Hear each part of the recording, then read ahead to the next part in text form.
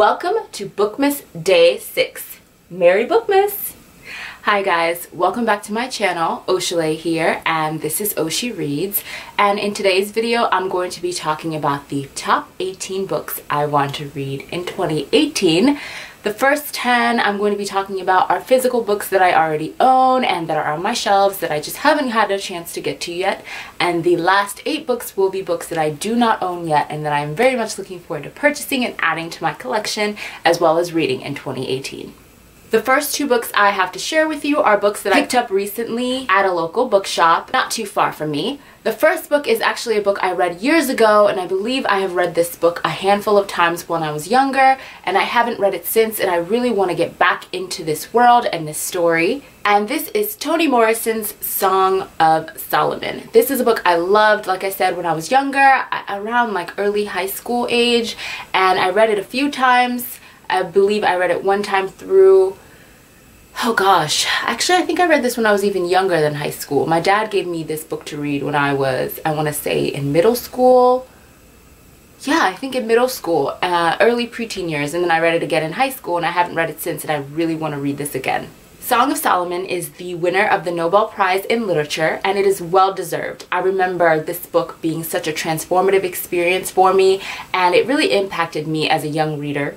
From what I remember, the novel has a lot of magical realism and it follows a young boy as he struggles to come of age in a time that is not too kind to people of his origins and background as he is a young black man just trying to make it.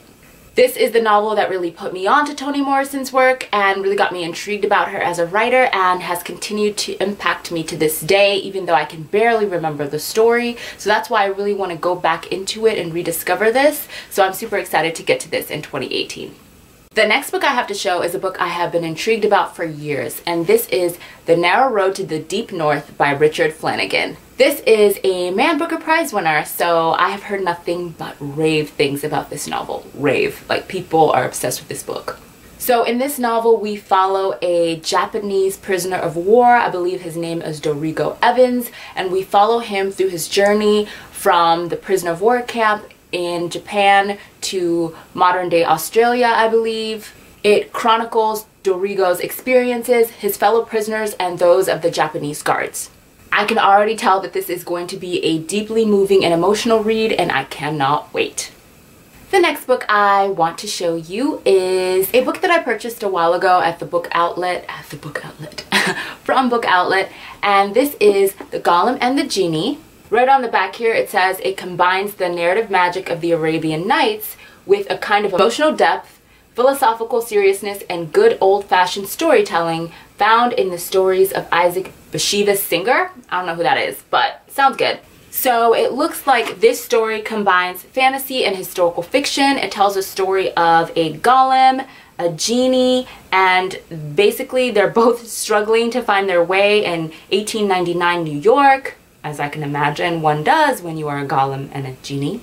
So they're trying to mask their true identities and they're trying to blend in with their immigrant neighbors and they become unlikely friends. Ooh, they face lots of challenges and basically there's something after them and trying to drive them back into their separate worlds. So it sounds like a survival story, a story of friendship, and a story of history. Like we get to explore 1899 New York, whatever that's like, especially through the eyes of two fantastical magical creatures.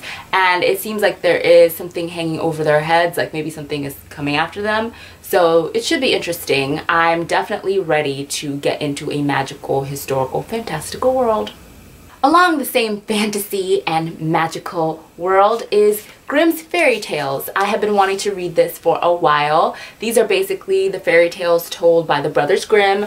This particular edition has illustrations in it and it's a very beautiful edition. I haven't had a chance to really read it since I bought it a few years ago so I'm looking forward to really exploring this. I love fairy tales so I finally just want to get my hands on this so some Grimm's fairy tales are Rapunzel, Rumpelstiltskin, Cinderella, The Fox and the Horse, Little Red Riding Hood, The Golden Goose, and Snow White and the Seven Dwarfs. So there's a ton in here, but I just wanted to pick the standouts that Disney has swiped up and turned into their little magical gumdrop fairy goodness. These are a little bit darker. so I can't wait to read the original versions. Next up here on my list is a non-fiction pick and this is Acting White, The Curious History of a Racial Slur by Ron Christie. Now this is a book I purchased way back when in 2014 and I have not had a chance to read it yet. I'm very, very, very, very curious to see how this is gonna go. So right above the title, which is all bolded, it says, Barack Obama Keynote Address 2004 Democratic National Convention. These are his words. We must eradicate the slander that says a black youth with a book is acting white. So this should be interesting indeed. And I cannot wait to go back to the history of this racial slur and what it really means and how it's been used and the consequences of it. I am so excited to see where this read is going to take me. Next up, I have more nonfiction for you guys. And these two books, one of them I've read before, I want to reread, and then I want to move on to the other two. Um, the first one that I've read before is Blink. I hate when I hold this up because you guys literally cannot see anything. This is Blink by Malcolm Gladwell. So I've talked about this book before here on this channel. I will link all these books below by the way. But Malcolm Gladwell writes a lot of I want to say psychological type books. He really delves into the way people think and the way the brain works and why we come to certain thoughts and conclusions that we do, why we do things that we do, stuff like that. So I really enjoy his writing and the way that he is very straightforward with his findings. He puts a lot of research into what he does, which I respect. So I want to reread Blink. I recommend it to everyone. I also want to move on and read his other two books. This one is David and Goliath, Underdogs, Misfits, and the Art of Battling Giants. And then he also has another book, which I don't have here, which is The Tipping Point. Um, and then another book, Outliers. So for now, I just want to focus on rereading Blink, reading David Goliath, David and Goliath, and then reading The Tipping Point. Outliers I do not own, but all the rest of them I do. Moving right along in the nonfiction vein is a little bit more spiritual depth here on this channel. I want to make my way through my Bible. Um, I've always tried to read my Bible in a year and I haven't always succeeded. So this year I definitely want to make that a this year it's not 2018 yet. In 2018 I definitely want to make that a goal. And along with that I have a devotional here that is a very popular devotional called Jesus Calling Enjoying Peace in His Presence by Sarah Young. This is devotions for every day of the year. It starts in January. Uh, I bought this a almost a year ago maybe a year ago now and I've been waiting to start it in January because I want to do it January through December. And when I purchased this it was like three or four months into the year already so I just wanted to wait.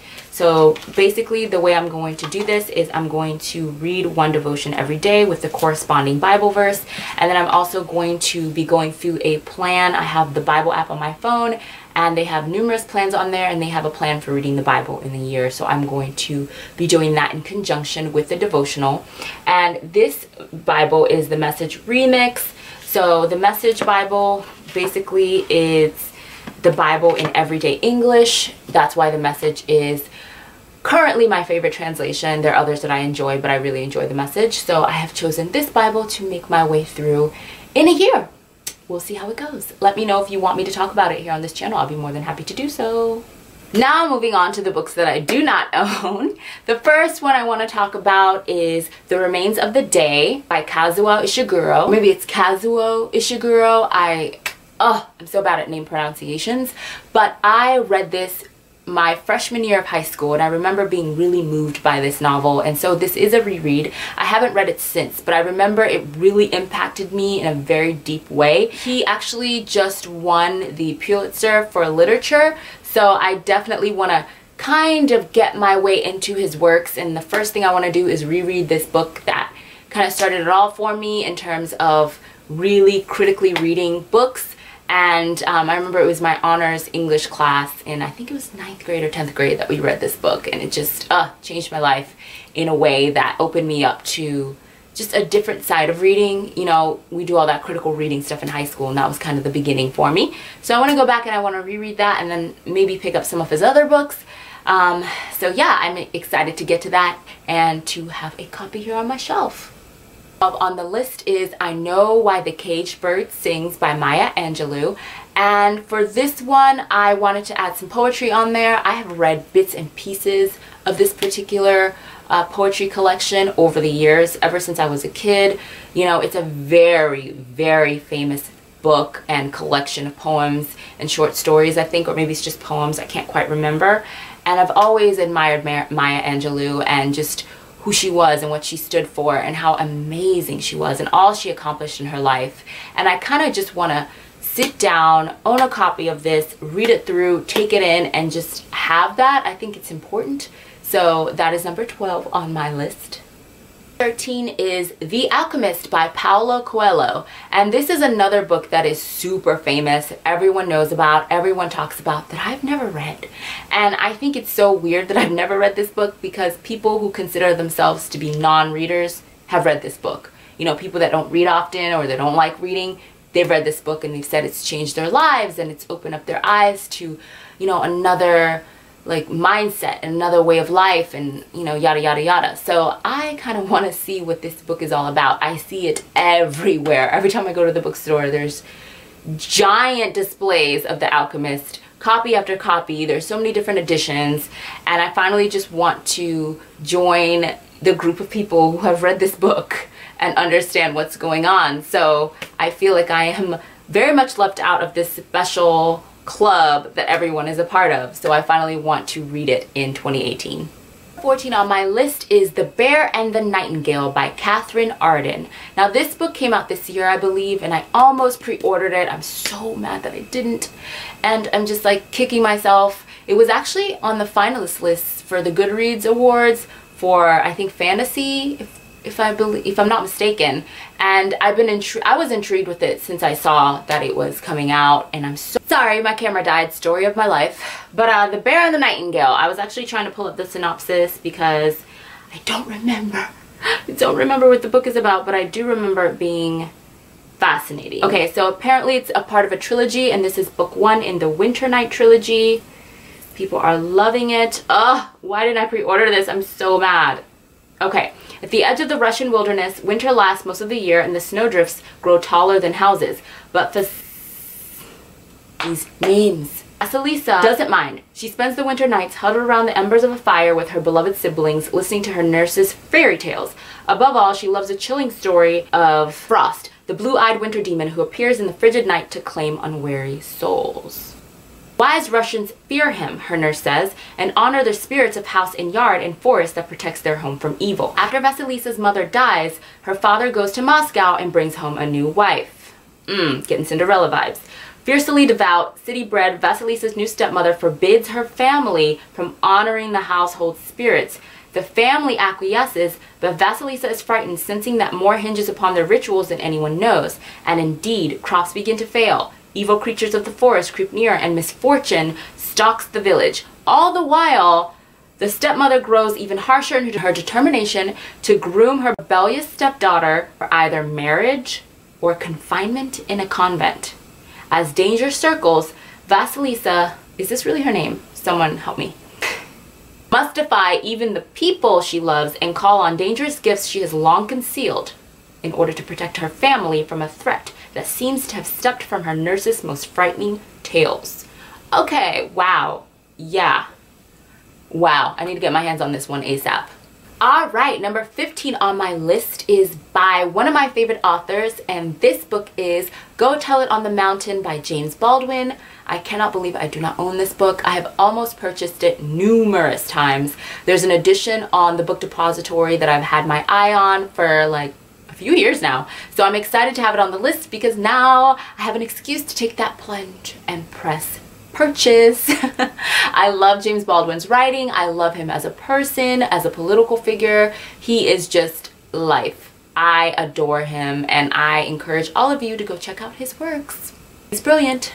The funny thing is I've actually read like the first three or four chapters of this novel a couple years ago and I don't remember why I didn't follow through. I think that I borrowed the book from the library and I had to return it and I never just made my way back to it to finish it.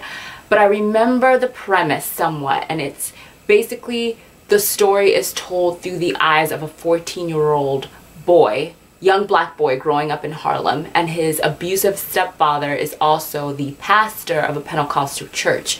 And it's basically just like the family dynamics. He's coming into his own, and he's kind of has this pressure put on him by everyone in his community that he's going to be a great pastor and preacher, just like his stepfather. And it's kind of like what goes on behind closed doors because obviously the congregation is not aware that he is in an abusive home and you know he's basically coming into his own and it's him discovering his sexuality and just all the things that go along with growing up as a young black boy in Harlem and I think I want to say I'm not sure what time period this is I want to say it's the 60s I'm not 100% sure but I'm really excited to read this finally and make it past chapter 4 Number 16 on my list is Bel Canto by Ann Patchett. And this one, I put it on my Amazon cart a while ago and then I removed it and I don't remember why. Maybe I had to buy something else and I just you know, had to prioritize my funds. In an unnamed South American country, a world-renowned soprano sings at a birthday party in honor of a visiting Japanese industrial titan. Alas, in the opening sequence, a ragtag band of 18 terrorists enters the vice presidential mansion through the air conditioning ducts. Their quarry is the president who has unfortunately stayed home to watch a favorite soap opera, and thus, from the beginning, things go awry. Among the hostages are Russian, Italian, and French diplomatic types. Swiss Red Cross negotiator Joachim Messner comes and goes, wrangling over terms and demands. Days stretch into weeks, the weeks into months. Joined by no common language except music, the 58 international hostages and their captors forge unexpected bonds. Time stands still, priorities rearrange themselves. Ultimately, of course, something has to give. Hearing opera sung live for the first time, a young priest reflects. Never had he thought, never once, that such a woman existed, one who stood so close to God that God's own voice poured from her. How far she must have gone inside herself to call up that voice. It was as if the voice came from the center part of the earth, and by the sheer effort and diligence of her will, she had pulled it up through the dirt and rock and through the floorboards of the house up into her feet, where it pulled through her, reaching, lifting, warmed by her, and then out of the white lily of her throat and straight to God in heaven. So that was just the book description on Goodreads. So it sounds very fascinating. I cannot wait to get into it. Number 17 on my list is A History of Love by Nicole Krauss or Krauss not sure. 14-year-old Alma Singer is trying to find a cure for her mother's loneliness. Believing she might discover in an old book her mother is lovingly translating, she sets out in search of its author. Across New York, an old man called Leo Gursky is trying to survive a little bit longer. He spends his days dreaming of the lost love who 60 years ago in Poland inspired him to write the book. And although he doesn't know it yet, that book also survived, crossing oceans and generations and changing lives. So it sounds really intriguing, the story of this 14-year-old girl who's trying to cure her mother's loneliness and just trying to help her while she's also translating this book. And then you kind of have the other side, the author of the book, who's this old man who is kind of suffering for lost love and doesn't know that his book has survived all of these years and is pining away for the woman who inspired him writing this book. So I'm really excited to see where this story takes me. I've heard mixed things. Some people love it, some are kind of like, oh, some people say it's confusing. I think it might be confusing for those who are unfamiliar with literature. So I'm really excited to dive back into that world. And by literature, I mean more literary books. So don't want to confuse that. Last but not least, number 17 on my list is The Strange and Beautiful Sorrows of Ava Lavender by Leslye Walton. Now this book has magical realism, lyrical prose, and the pain and passion of human love haunt this hypnotic generational saga. Foolish love appears to be the Rook family birthright, an ominous forecast for its most recent progeny, Ava Lavender. Ava, in all other ways a normal girl, is born with the wings of a bird. I cannot wait. In a quest to understand her peculiar disposition and a growing desire to fit in with her peers, 16-year-old Ava ventures into the wider world, ill-prepared for what she might discover and naive to the twisted motives of others. Others like the pious Nathaniel Sorrows, who mistakes Ava for an angel and whose obsession with her grows until the night of the summer solstice celebrations. That night, the skies open up, rain and feathers fill the air, and Ava's quest and her family saga build to a devastating crescendo. First-time author Leslye Walton has constructed a layered and unforgettable mythology of what it means to be born with hearts that are tragically, exquisitely human. So this book has been on my radar for a couple of years now and I have been intrigued by it. I remember everyone talking about it here on booktube for a while and I just kind of missed the boat on that but I cannot wait to finally get my hands on it in 2018 and find out for myself what it's all about. So there we go. Those are the top 18 books I want to read in 2018. I cannot wait to share my reading journey with all of you and let you know my thoughts on all of these books. I hope I get to all of them. Definitely let me know in the comments what books you guys are putting on your TBR for 2018 and I will catch you guys in my next video. Bye! Discussion videos of them here on my channel. Um, these are my favorite books and I think it's sad that I don't have any videos discussing them and I think it's because I started booktube after I'd already read all of the novels. I read them growing up as a kid and